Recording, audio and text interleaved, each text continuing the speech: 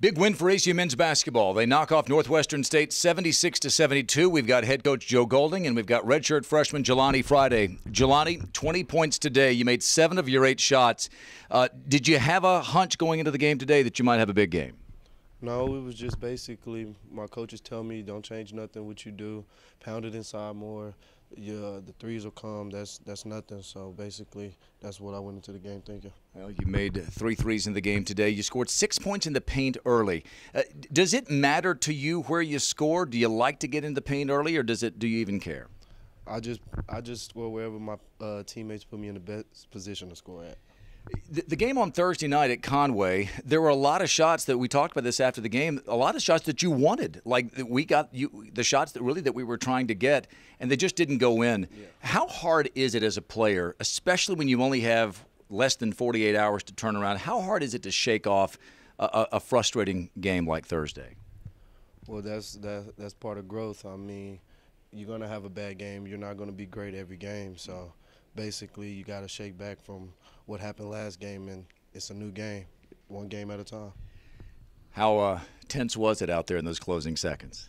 Very tense. I, I, I wish it wasn't like that most of the time, but it's fun. Make it fun for the fans anyway, don't you? Let's talk to your head coach. Uh, he talked about growth I mean, he's grown up to six nine in, in physical stature, and we see these little moments bouncing back from a tough game and having a game like today. Yeah, he's he's a special kid. You know, I'm, I'm we're extremely fortunate our staff to be able to coach him every day. Um, he, he's uh, learning each and every day. Uh, it's a different situation, a different deal, and he's come a long way. You know, from from where he first got started here, and that's a credit to a lot of people that uh, have been in his life. There's no question he's God uh, has blessed him with a ton of talent, and it's uh, it's our job to continue to stay after him and coach him up uh, because he wants to be a great player. He just doesn't want to be a good player, you know. And so, uh, you know, we're proud of him. I was proud of all of our guys. Yeah. You know, I thought all of our guys stepped up and uh, at different times today uh, made some plays, and it wasn't the prettiest thing. Uh, some but you were playing a desperate team today, some, some, yeah, there's no question. You know, those guys had lost some games in a row. They're they're playing for Katy. They got yeah. some seniors on that team, and uh, you know they got a lot on the line. And this has kind of been their mo. They've lost a ton of games late. They fall behind and then they fight back. And they, they I think they've lost four uh, out of the last eight in the last minute or last possession. So it's been a tough trip. They get beaten overtime to SFA, uh, a game that they controlled for the most part. So uh, anytime you can beat a team like that, especially on a quick turnaround, we'll take it.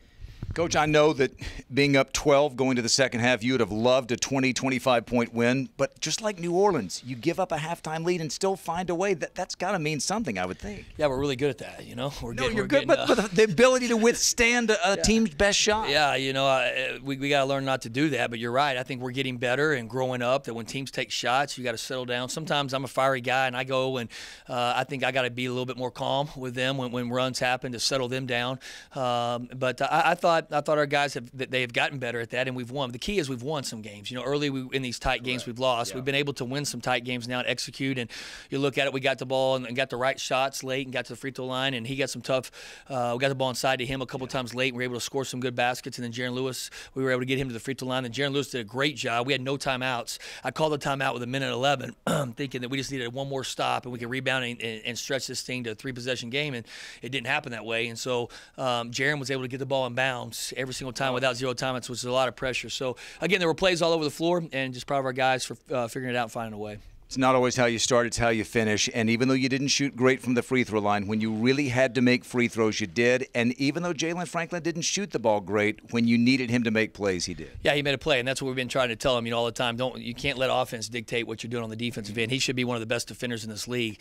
Uh, and you know, he got some uh, opportunities where he created some turnovers. Huge play, obviously, late in the game to get that dunk, and it was kind of like, all right, here we go. And uh, you know, that's what good players do. They go make plays uh, in close game situations. Not a lot of there's there is coaching. We put him try to put them in the right places, but players go make plays.